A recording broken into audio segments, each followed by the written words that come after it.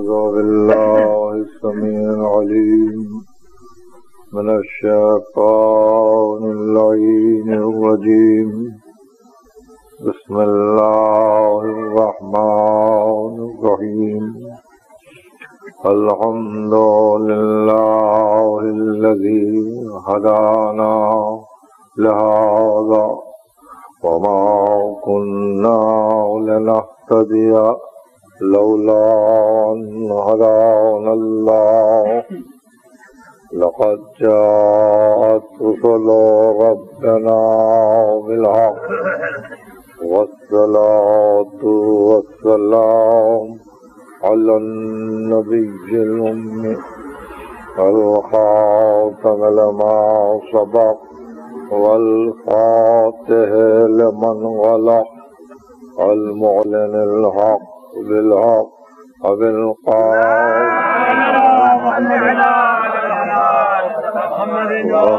بيته الطيبين الطاهرين المعصومين المظلومين الذين أذهب الله عنهم الرجس وطهرهم تطهيرا تصويرا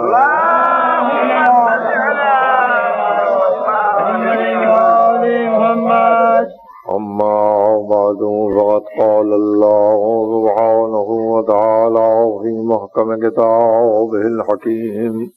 وبشر عباد الذين يستمعون القول ويتبعون أحسنه. أولئك الذين هداهم الله أولئك هم أولو الألباب. اللهم صل على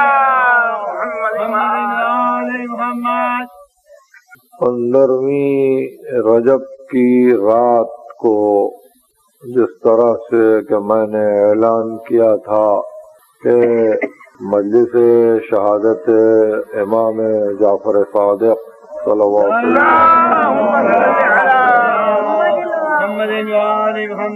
کے بعد پچیسویں رجب کی اس رات کو ہم پھر جمع ہوں گے اور اس لیے کہ یہ شب غریب بغداد سے منسوب ہے۔ حضرت جعفر على محمد وآل محمد بہت ہی مخصوص تاریخ ہے۔ آج اہل کاظمین مخصوصی ادا کر رہے ہیں۔ اور جو جو قبائل آج بارگاہ امام میں سلام کے لیے حاضر ہیں۔ میں چاہتا تھا کہ آپ اس معصوم کے متعلق بعض باتوں کو یاد رکھیں اور سمجھنے کی کوشش کریں۔ یوں تو جب کبھی موقع ملتا ہے، میں نے اس معصوم کے لیے آپ کی خدمت میں بعض امور کو پیش کیا ہے۔ لیکن خصوصیت کے ساتھ نوجوان طبقے کو جو صحیح معنی میں آنے والی نسلوں تک ہمارا پیغام رساں ہے، یہ یاد رکھنا چاہیے۔ کہ بہت ہی عجیب خصوصیات کے حامل ہیں یہ امام۔ تاریخ امامت میں دو معصوم ایسے ہیں کہ علمی اعتبار سے جن کا بڑا سختی کے ساتھ دنیا نے مقابلہ کیا، علمی اعتبار۔ یعنی اس کو یوں ادا کیا جا سکتا ہے کہ اکیڈمک اپوزیشن علمی اختلافات کے شدید ادوار دو معصومین کے ساتھ تھے۔ ایک حضرت موسم جعفر، دوسرے امام حسن عسکری۔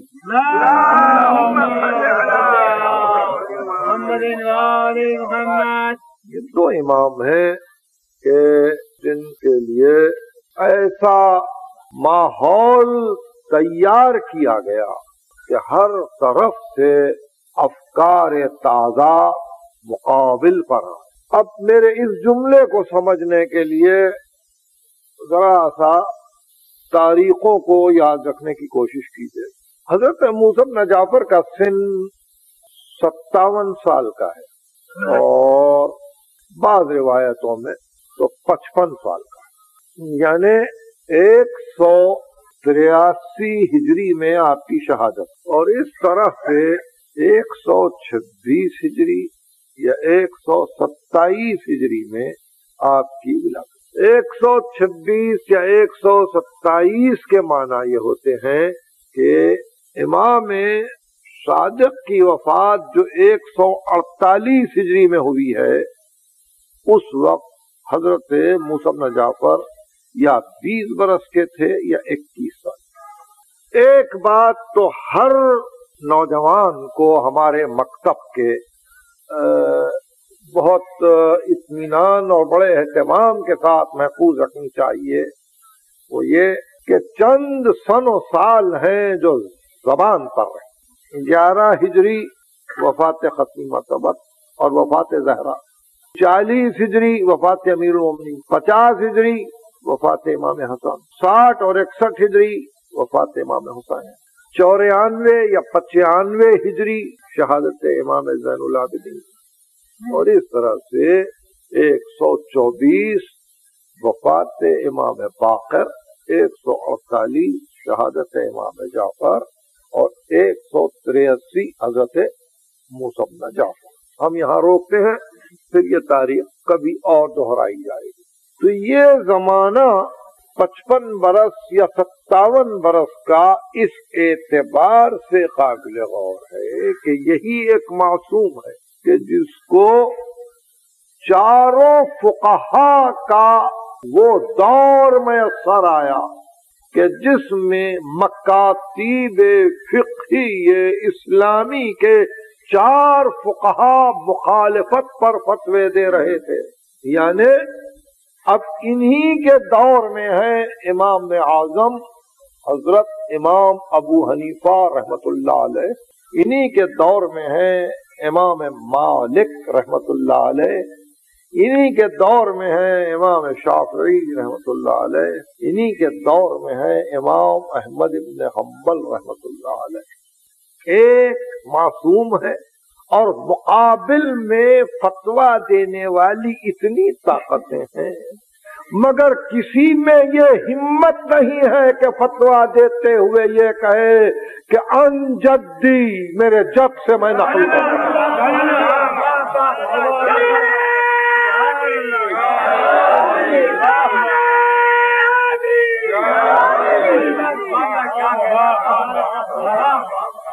ان چیزوں کو یاد رکھنے کے لیے۔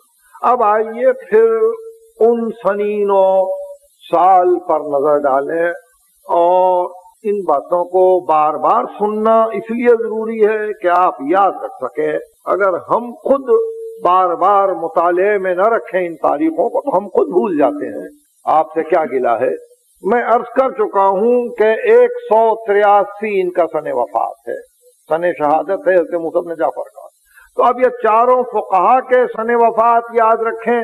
امام میں اعظم کی ولادت اسی ہجری کی ہے، وفات ایک سو پچاس ہجری۔ یعنی دور موسم نجافر کو درک کیا۔ امام شافعی کی ولادت ایک سو پچاس ہجری ہے اور وفات دو سو چار ہجری ہے۔ ان کی شہادت ایک سو تریاسی ہجری ہے، اس لیے شہادت موسم نجافر کے وقت امام شافعی تینتیس برس کے ہیں۔ بالکل اسی طرح سے امام مالک کے جن کا سن وفات چورانوے ہجری یا پچانوے ہجری ہے، پورا دور درک کیا ہے حضرت میں جاؤ اور سب سے آخر میں امام احمد ابن حنبل ہے کہ جن کی وفات دو سو اکتالیس ہجری میں ہے۔ ان کا سن ولادت ایک سو چونسٹھ ہجری ہے۔ نو برس کی عمر میں فتوا دینے کے قابل ہو چکے تھے۔ روز شہادت موسم نجافر ان کا سن انیس برس کا ہو چکا تھا۔ اور ان کا ایک مستقل درس تھا۔ بغداد میں حکومت نے ان کو طلب کیا۔ اور کہا کہ جا کے موسم نجافر کی لاش کو دیکھو اور دیکھو کہ کوئی اعلی ایسے نشانیاں تو نہیں ہے کہ جس سے یہ پتا چلے کہ ان کی موت کسی اور وجہ سے واقع ہوئی ہے اور یہ کہہ کے ایک سر بمہر سرا ان کے حوالے کر دیا اشرفیوں کا کہ تم ایک جھوٹی گواہی دے دینا۔ انہوں نے جا کے کفن ہٹا کے لاش کو دیکھا سر پیٹ کے باہر آئے اور کہا کہ اگر زندگی بھر مجھے قید میں رکھو تو یہ فتوا نہیں دوں گا، اس لیے کہ سر سے لے کے پیر تک تو تازیانوں کے نشان یہ امام احمد ابن حنبل کی گواہی ہے حضرت موسف نجافر اور اس واقعے کو سارے مورخین نے لکھا۔ تو اب آپ ان باتوں کو سمجھ گئے کہ چاروں فقہا ایک دور سے مسلسل اور ایک دور سے منطبق ہو رہے ہیں۔ فقی اعتبار سے ہر ایک کا مسلک الگ ہے۔ فروع میں سبوں نے اختلاف کیا ہے۔ یعنی چھوٹے سے چھوٹے مسئلے کو لے کر اصول تک اختلافات اور ان اختلافات میں آج تک کوئی سلح کی صورت نہیں ہے۔ مکاتب فقی یہ مکاتب فقی ادھر کام کر رہے ہیں اور ادھر یہی وہ دور ہے ہارون رشید کا کہ جب یونانی فلسفے کو عربی زبان میں منتقل کیا جا رہا ہے اور کوشش یہ کی جا رہی ہے کہ کسی صورت فلسفے کی اس طرح سے سرپرستی کی جائے کہ یہ گھرانہ آل محمد کا جو دعوت دے رہا ہے کہ عقل کو کبھی نہ چھوڑو اور عقل کا دامن ہاتھ سے نہ چھوٹنے پائے، تو اس گھرانے کو زخ پہنچانے کے لیے فلسفہ یونان کو اٹھایا جائے تاکہ یہ بتلایا جائے کہ عقل کا یہ حکم ہے۔ کہ کائنات اپنی فطرت پہ قائم ہے، وجود باری ثابت نہیں ہے۔ اس طرح سے مقابلے میں اب فلسفی بھی آ چکے ہیں کہ جو یونان کے مختلف افکار کو ترجمہ کر کے عربی میں پیش کر رہے ہیں۔ یہ دور۔ اور ادھر امام مرشاد فرماتے ہیں حشام سے، اسی آیت کو پڑھ کر جس کی میں نے تلاوت کی حضرت موسم نجافر یہ سورہ زمر کی آیت ہے۔ سورہ زمر قرآن مجید کا انچالیسواں سورہ ہے کہ میرے بندوں کو خوشخبری دو۔ فبشر عباد الذین یستمعون القول۔ میرے بندوں کو بشارت دو جو ہماری باتوں کو سنتے ہیں، جو ہر قول کو سنتے ہیں فَيَتَّبِعُونَ أَحْسَنَهُ، اور اس میں سے جو بہتر بات نظر آ جائے، اس کی پیروی کرتے ہیں۔ أُولَئِكَ الَّذِينَ هَدَاهُمُ اللَّهِ یہی وہ لوگ ہیں اللہ نے جن کی ہدایت کی ہے۔ وَأُولَئِكَ هُمْ أُولُو الْأَلْبَابِ یہی وہ لوگ ہیں جو صاحبان عقل۔ فلسفہ اس دور میں عقل سے یہ مراد لیتا ہے کہ انکار معبود ہو۔ موسب نجافر علیہ السلام حشام ابن حکم سے کہتے ہیں کہ حشام، عقل نام ہے اس امر کا کہ انسان تصدیق کرے کہ خدا پر سچ کون بولتا ہے اور عقل اس بات کی تکزیب کرے کہ خدا پر جھوٹ کون بولتا یہی یصدق الصادق علی اللہ۔ وہی یقذب القاذب علی اللہ تصدیق کی جائے اللہ پر سج بولنے والے کی۔ تقزیق کی جائے اللہ کو جھٹلانے والے کی۔ یہ عقل کی تعریف ہے اس گھرانے کی۔ بہرحال ایک طرف فلسفہ رو بکار ایک طرف فقہا رو بکار تیسری طرف یہی وہ معصوم ہے کہ جس کے دور میں چار صوفیاء کرام اپنے اہم ترین مسائل تصوف کو دنیا کے سامنے پیش کر رہے ہیں حکومت کی سرپرستی کے ساتھ۔ سفیان سوری، عبداللہ ابن مبارک، شقیق ابن ابراہیم بلقی اور یہی وہ دور ہے کہ جس میں اہم ترین صوفی بھی شامل ہو جاتا ہے۔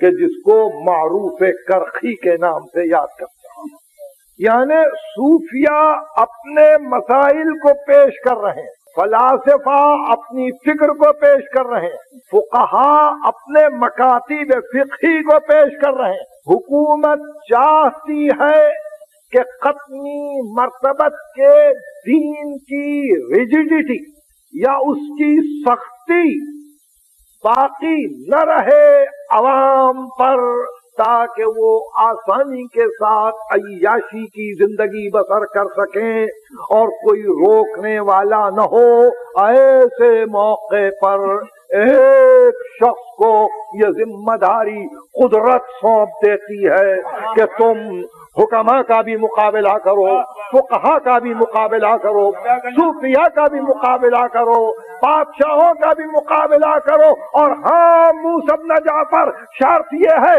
کہ زندگی بھر قائد میں رہو۔ کچھ آپ اندازہ کر رہے ہیں کہ کیا خدمت انجام دی ہے؟ اس طویل دور میں آپ نے یعنی دیکھیے، اگر پیغام کہیں بھی یہ منقطع ہو جاتا، دور امامت میں، کہیں کسی منزل پہ، جو علی سے حسن تک پہنچا، حسن سے حسین تک پہنچا، حسین سے سید الساجدین تک پہنچا، اگر یہ پیغام کہیں بھی منقطع ہو جاتا، تو آج آپ میں اتنی قوت نہ ہوتی، آج آپ کی فقہ میں اتنی طاقت نہ ہوتی۔ یا ان ابھی ان جدی کہتے ہوئے پیغام کو آگے بڑھایا جاتا ہے۔ کہ میرے باپ نے کہا، میرے دادا نے کہا، ایسے موقع پر مجال کیا ہے کہ سلسلہ ابلاغ و تبلیغ میں تعطل آ جائے۔ زمانہ معطل کر دے کسی عادی کو۔ نہیں، ذمہ داری سونپی گئی غریب بغداد۔ باب الحوائی جن کا نام ہے۔ اور آج رات کو کاظمین میں جتنے جمع ہوں گے سب پکار رہے ہوں گے، یا بابل ہوا یا بابل ہوا ایک بات یاد رکھیے، بھول جاؤں گا، آگے چل کر خصوصیت سے یہ حکم ملا ہے ہم کو کہ جسمانی دردوں اور جسمانی امراض کے لیے ان سے متوسل ہونا ضروری ہے۔ امام موسی کاظم سے خصوصاً جس کو آنکھوں کی تکلیف ہو، اس کے لیے ارشاد ہوا ہے کہ اپنی دونوں آنکھوں پر انگلیوں کو رکھ کے بے اختیار کہ اللہ انی اتوسل الیکا بے موسب نجافر پروردگار، میں موسب نجافر کے واسطے سے درخواست کر رہا ہوں کہ میری بصارت کو باقی رکھ۔ اللہ یہ معصوم کا ارشاد ہے اللہ انی اتوسل الیکا بموسب نجافر پروردگار، میں واسطہ دیتا ہوں، وسیلہ بنا رہا ہوں موسب نجافر کو میری بصارت کے قیام کے لیے۔ تو آپ نے دیکھا، جو زندگی بھر قید کی مصیبتیں جھیلے، وہ دوستوں کو یوں بچا لے۔ گفتگو طویل نہیں ہو سکے گی، میری صحت اجازت نہیں دیتی۔ لیکن میں نے تذکرے میں دو معصوم کا نام لیا تھا، اس لیے چاہتا ہوں قبل اس کے کہ حضرت موسم جعفر کے سلسلے میں کچھ اور عرض کروں، دوسرے معصوم کے لیے بھی اس سلسلے میں بتلا دوں۔ میں نے عرض کیا تھا کہ دو معصوم ایسے ہیں کہ جن کا بڑا شدید مقابلہ کیا گیا۔ آغاز گفتگو میں۔ پہلے تو مسمن جعفر علیہ السلام کہ جن کے دور میں چاروں فقہ ہیں، فلاسفہ ہیں، صوفیاں ہیں، اور پھر شدید ترین مخالفت حکومت کی دور یعنی جہاں ہمارا مورخ یہ ناز کرتا ہے کہ یہ تاریخ اسلام کا سب سے درخشاں دور تھا، وہاں ہمارا غریب مصنف یہ لکھتا ہے کہ یہ وہ درخشاں دور تھا کہ موسم جعفر کو ان کے جب کے روزے سے گرفتار کیا۔ تو دشمن زمانہ اور ایسے میں تبلیغ کی خدمت کا انجام دینا، تدوین میں تعطل کا پیدا نہ ہونے دینا، یہ اسی امام کا کام۔ میں ابھی واپس آتا ہوں مگر دوسرا وہ معصوم کہ جس کے متعلق میں نے ابھی کیا، شدید مخالفت ہوئی، وہ ابو محمد حسن عسکری یہ ہمارے گیارہویں امام ہیں، جیسا کہ مجھے یاد پڑتا ہے، اسی اضافان زہرا میں عسکرین کے عنوان سے میں نے جب تقریریں کی تھیں، ساتویں اور آٹھویں ربیع الاول کو، تو میں نے تفصیل دینے کی کوشش کی تھی۔ ایک بات آپ بھی یاد رکھیں کہ یہ وہ معصوم کہ جیسے امام موسم جعفر کے مقابل میں چاروں فقہ اسی طرح امام حسن عسکری کے مقابل میں چھ محدث ہیں یعنی پورے سہائے ستہ کے لکھنے والے اس دور میں امام بخاری بھی اسی دور میں ہے حضرت مسلم نے حجاج بھی یہی دور میں ہے ترمیزی کا بھی یہی دور ہے۔ جتنے ہیں یہاں تک کہ امام نسائی ابن ماجہ سب اسی دور اور سب کا کام یہ ہے کہ مسلسل یہی حدیث کرتے جائیں کہ ہم نے اپنے راوی سے سنا، انہوں نے اپنے شیخ اجازہ سے سنا، انہوں نے اپنے استاد سے سنا کہ رسول نے یہ کہا۔ اور ان کے مقابل میں امام حسن عسکری کا یہ عالم ہے کہ مسلسل یہ کہیں کہ میں نے اپنے پدر گرامی سے سنا، اپنے پدر گرامی سے سنا۔ انہوں نے اپنے پدر گرامی سے سنا، یہاں تک کہ رسول نے یہ کہا کہ یہ جھوٹ ہے۔ تو اس طرح سے پورے صحاو ستہ کے لکھنے والے ایک دور میں جمع ہو اور یہ دو سو ساٹھ ہجری تک کا زمانہ۔ مگر تدوین کو چونکہ مکمل کرنا تھا دور تشریح کے بعد، اس لیے ہزار مسائل کے ساتھ، ہزار مسائل یہ طے کیا گیا کہ تدوین میں تعطل نہیں ہوگا۔ حضرت موسم جعفر کی پوری زندگی قید میں گزری اور امام حسن عسکری کی پوری زندگی سرمن را کے قید خانے میں گزری۔ مگر دونوں نے ایسے معاشرے کی تخلیق کی کہ جہاں یہ طے کیا گیا کہ اب نہ باطل کا حق میں داخل ہونے کا امکان ہے، نہ اس بات کا امکان ہے کہ باطل حق کا لباس پہن لے۔ جو امر ہے واضح کر۔ ورنہ اتنی صعوبتیں اٹھانے کے بعد کوئی اور انسان ہوتا تو کسی ایک فقیر کو اپنا ہم نوا کر لیتا، کسی ایک صوفی کو اپنا ہم نوا کر لیتا، کسی ایک فلسفی کو اپنا ہم نوا کر لیتا، اپنے گروپ کو اور اپنے معاشرے کو قوی بناتا نہیں۔ قوت اسی میں ہے کہ اگر ساری دنیا باطل ہے تو ساری دنیا پر زد۔ ساری دنیا پر کو رد کیا جائے۔ ساری دنیا کو ہٹایا جائے اور آواز دی جائے، یہ سب غلط۔ حق ایک ہی جگہ، حق ایک ہی جگہ۔ ہے یہ ہے وہ منزل جہاں ہم نے اپنے غریب امام کو پایا۔ حضرت موسم جعفر کے سلسلے میں چند باتیں اور ضرور۔ وہ یہ کہ اس دور میں تصنیف و تعلیف کا کام بہت ہوا ہے۔ اور حماد ابن عیسیٰ مشہور اصحاب اجماع میں سے ہے۔ اور یہ جو کچھ بھی امام سے سنتا ہے، اس کو محفوظ کر لیتا ہے۔ حشام ابن حکم امام کا مشہور کاتب ہے، اس نے جو کچھ امام سے سنا لکھ لیا ہے۔ اور اس طرح سے ذقیم کتابیں فقہ میں، حدیث میں، تفسیر میں، اصول میں اس دور میں تیار ہوئی اور اربا میاہ کی روح رواں بن گئیں۔ اس پوری زندگی پر ایک تائرانہ نظر ڈالنے کے بعد ایسا معلوم ہوتا ہے، یہ عصمت ہی کا مقام ہے کہ بے خوف مقابلہ ہو۔ میرے لفظوں پر اچھی طرح سے توجہ رہے۔ معصوم ہی بے خوف مقابلہ کر سکتا ہے۔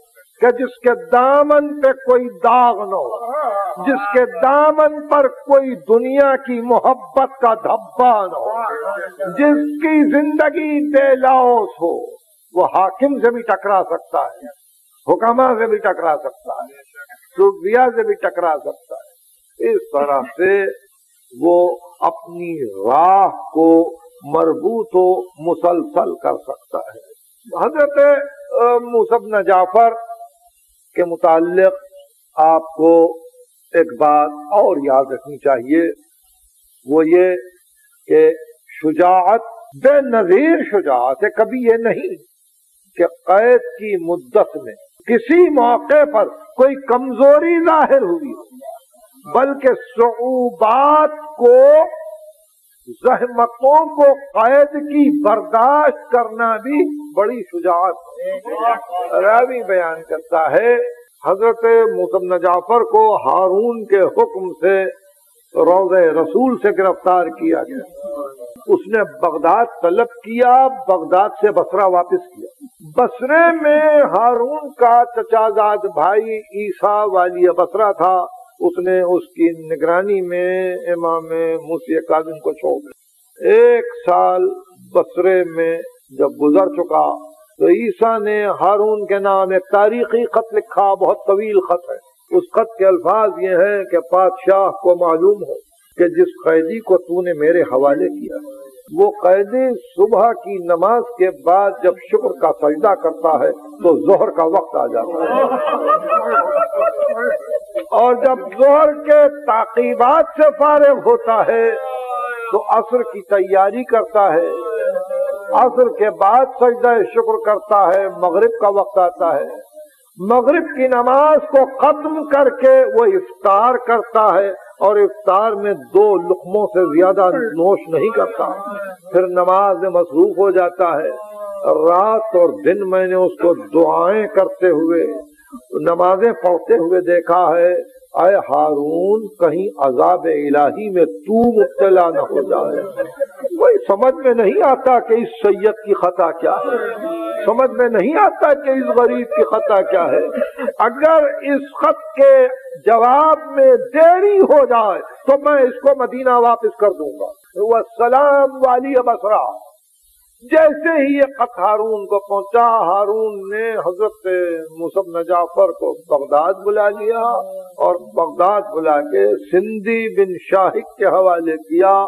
سندھی بن شاہق ہارون کا مشہور حاجب ہے، جو بغض اہل بیت میں ایک خاص مقام رکھتا تھا۔ جب اس کے حوالے کیا گیا تو اس حکم کے ساتھ کہ صبح و شام آپ کے مظلوم امام کو تازیانے لگائے جائیں میری زبان سے یہ جملہ کتنی آسانی سے نکل گیا، مگر کچھ آپ کو اندازہ ہوتا ہے کہ تنہائی کے عالم میں قید کے عالم میں آپ پر جو زحمتیں پڑی ان زحمتوں کا جس انداز سے آپ نے مقابلہ کیا، اس کا کوئی دنیا میں آپ مقابلہ نہیں کر سکتے، کوئی اس کی نظیر نہیں پیش کر سکتے۔ اس گفتگو کو اس مقام پر رکھتے ہوئے ایک بات اور جو شاید آپ کے دل و دماغ میں کہیں ہو، مگر میرا کام ہے کہ خراش لگاتے ہوئے چلوں۔ یہی وہ امام ہے کہ جہاں سلسلہ امامت کو ماننے والے بھی آ کے بدل گئے۔ اور امام جعفر صادق کے بعد انہوں نے امام موسی کاظم کی امامت کو ماننے سے انکار کر دیا اور اپنے آپ کو اسماعیلی فرقہ قرار دے کر حضرت اسماعیل ابن جعفر صادق کی طرف انہوں نے رجوع کیا، جو باپ کی زندگی ہی میں فوت ہو چکے تھے اور ان کے بیٹے محمد ابن اسماعیل کی پیروی شروع کی تھی، تو خود دوستوں ہی میں فرقہ بندی ہو چکی تھی اور ایسے میں ایک بہت سی جمعیت یہ سمجھ کر کہ اسماعیل بڑے فرزند تھے اور ان کو امامت ملنی چاہیے تھی، ایک شک پیدا کیا اور اپنے راستے کو الگ کیا۔ یہی وہ امام ہے جہاں سے اصول مذہب شیعہ اسنا عشریہ کا ایک اہم مسئلہ پیدا ہوتا ہے، جس کو بدا کہتے ہیں۔ کہ کس طرح سے بدا واقع ہوتا ہے، اس پر آپ بحث نہیں کریں گے۔ مگر یہ کہ امام مصبنا جعفر کے لیے امام جعفر صادق کے نصوص موجود تھے اور ان نصوص کے ساتھ آپ نے تخت امامت کو رونق دی اور امام قرار پائے اور یہ دیکھ کر کہ ساتھی بھی مخالف ہو گئے اعزا بھی مخالف ہو گئے۔ آپ نے کبھی اپنی کمزوری یا ذوق کا اظہار نہیں کیا۔ اور اس طرح سے وقت گزر چکا۔ ایک عجیب بات یہ ہے آپ کے مورخین میں تاریخ اور مدت اور وقت قید کا معین نہیں کیا۔ کسی نے کہا سات برس قید رہے، کسی نے کہا دس برس قید رہے، کسی نے کہا چودہ برس قید رہے کسی نے کہا چوبیس برس قید رہے بہرحال میں ہمیشہ پڑھتا ہوں، پھر پڑھوں گا۔ دبیر نے ایک عجیب شعر کہہ دیا، مولا پہ انتہائی اسیری گزر گئی، زندان میں جوانی و پیری گزر گئی۔ یعنی سارا وقت جس کا قید خانے کی نظر ہو گیا۔ یہ میرے تقریر کے آخری جملے ہیں۔ یاد رکھنے کی کوشش کیجیے۔ غلام علی ابن مسرزا کا بیان کرتا ہے کہ جب مدینے سے اسیر ہو کے چلے تھے تو بیٹے سے خاص طور پہ یہ کہا تھا کہ علی، جب تک میری کوئی خبر نہ آئے، راتوں کو تمہارا بستر دروازے پر رہے۔ تم دروازے پر سونا۔ یہ ایک عجیب خصوصیت ہے اس وسیعت کے متعلق۔ زمانہ اتنا مخالف ہے آل محمد کا کہ امام امام کو یہ وسیعت کر رہا ہے کہ میرے بچوں کی حفاظت لازم ہے، تم دروازے ہی پر سونا اپنے غلاموں کو لے گئے۔ راوی بیان کرتا ہے کہ ہر رات میں امام کا بستر ڈال دیا کرتا اور آپ نماز شب کے بعد آ کے آرام فرماتے۔ اسی طرح سے کئی برس گزر گئے، ایک رات میں نے دیکھا کہ امام بستر پہ نہیں ہے۔ میں گھبرا گیا۔ میں نے گھر والوں کو اطلاع دی، گھر والے بھی گھبرا گئے۔ میں نے دیکھا کہ سویرے امام آئے، مگر اس طرح سے کہ سر برہنا تھے میں نے کیا، فرزند رسول کہاں تھے؟ تمام رات تو بے اختیار آنکھوں سے آنسو بہا کے کہا، آج کی رات میں بغداد میں تھا، میرے باپ کو غسل و کفن دے رہا تھا، اپنے آخری فریضے کو ادا کر رہا تھا. راوی نے عرض کی فرزند رسول قدر گرامی نے کوئی خاص وسیعت فرمائی تھی۔ اتنا سننا تھا کہ اور رونے لگے۔ امام رضا اور رونے لگے۔ دیکھیے، یہ بھی ایک خصوصیت ہے، یاد رکھیں امام رضا اور رونے لگے۔ راوی نے پوچھا، فرزند رسول، کیا وسیعت تھی؟ کا مرتے وقت مجھے یہ وسیعت تھی کہ بیٹا علی، جب مجھے دفن کرنا، تو میرے ہاتھ اور پاؤں سے زنجیروں کو جدا نہ کرنا۔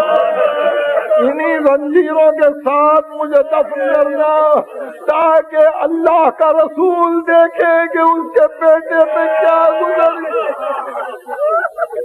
یہ پچیسویں رجب ہے، جس پہ علماء نے اتفاق کیا کہ پچیس رجب کی صبح تھی، اور بغداد میں اعلان کر دیا گیا۔ کہ وہ سید علوی جو سندھی بن شاہد کی قید میں تھا، اس نے قضا کی لوگ جوگ جوگ جمع ہوتے چلے، حکام آئے، علماء آئے، سبوں نے دستخط کی کہ موسم نجافر اپنی طبعی موت سے مر گئے، جیسا کہ ابھی اب کیا، اللہ امام محمد ابن حنبل کے کہ انہوں نے سر پیٹنا شروع کیا کہ میں دستخط نہیں کروں گا اور ایسے میں یہ لاش اٹھی۔ راوی کہتا ہے کہ حکومت کا اتنا خوف تھا کہ دوستوں میں کوئی نہ آ سکا اور چار حمال ایک کمل میں کی لاش کو لیے ہوئے۔ بغداد کے پل پر پہنچے اور یہ پکارتے ہوئے چلے، یہ وہ ہے جو امامت کا دعویٰ کرتا تھا۔ یہ وہ ہے جو اپنے آپ کو امام کہتا تھا۔ ابو جعفر منصور کا بیٹا سلیمان ہارون کا چچا بیان کرتا ہے۔ کہ میں دریا کی سیر کرتے ہوئے اپنے بام پر بیٹھا ہوا تھا کہ میں نے دیکھا کہ بغداد کے پل پر ایک میت رکھی ہے اور تین چار آدمی اس کے گرد کھڑے ہیں۔ میں نے پوچھا کہ یہ کس غریب کی میت ہے جو یہاں رکھی ہے؟ لوگوں نے کہا، امیر اگر امان ملے تو ہم کہیں یہ جعفر صادق کے بیٹے کی لاش ہے۔ یہ مسمن جعفر کی لاش ہے۔ حکم نہیں ہے حاکم کا کہ کوئی جنازے کی مشاہد کرے۔ اتنا سننا تھا کہ وہ بام پر سے کودا اور کہا جا کے ہارون کو کہہ دو کہ میں وارث ہوں۔ اور یہ کہہ کے آواز دی، آؤ بغداد والو، آؤ۔ غریب کا جنازہ بڑی شان سے اٹھائیں گے۔ اور یہ کہہ کے دو ہزار پانچ سو دینار کا کفن دیا۔ اور خود جنازے کو کاندھے پر لے کے چلا۔ سارا بغداد ساتھ ہو گیا۔ ارے غربت میں جب کوئی ساتھی مل جاتا ہے، تو اس طرح غریبوں کی لاش اٹھ جاتی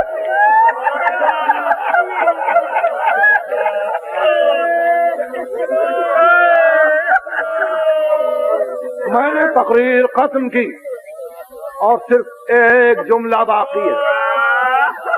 اس کو سنو، محفوظ رکھو اور تمنا کرو کہ ہم سب کے لیے یہ امر صحیح ہو۔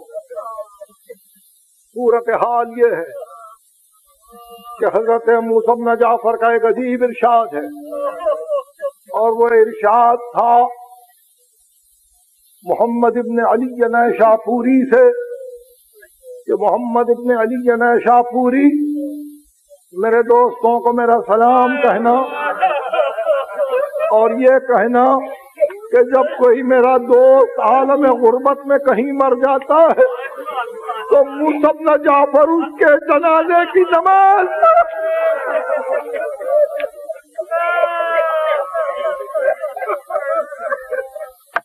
الہی و سیدی و مولایا و ربی خدا اللہ ہم کو کامل ایمان ہمارے ہوائے دین و دنیاوی برلا ہمارے اموات کو بخش دے ہمارے زندوں پر رحم فرما ہمارے بیماروں کو حفاظ کامل عطا فرما تعجیل فرما